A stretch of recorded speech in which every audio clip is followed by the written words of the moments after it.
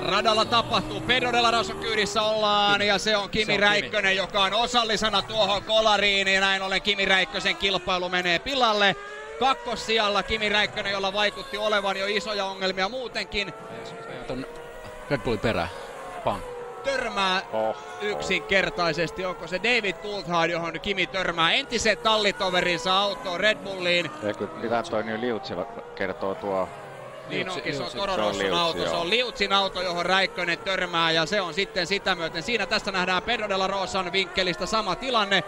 Kimi törmää yksinkertaisesti sen auton perään, samalla turva-auto tulee radalle. Se ei ole Fernando Alonson kannalta mikään hyvä uutinen, nimittäin Alonson 39 sekunnin johto. Alonso tulee todennäköisesti varikolle saman tien. Kyllä, mutta johto hupenee joka tapauksessa tietysti tässä kohtaa ratkaisee se, kuka on parhaiten hereillä ja vähän tuuristakin lienee kyllä sitten kyse.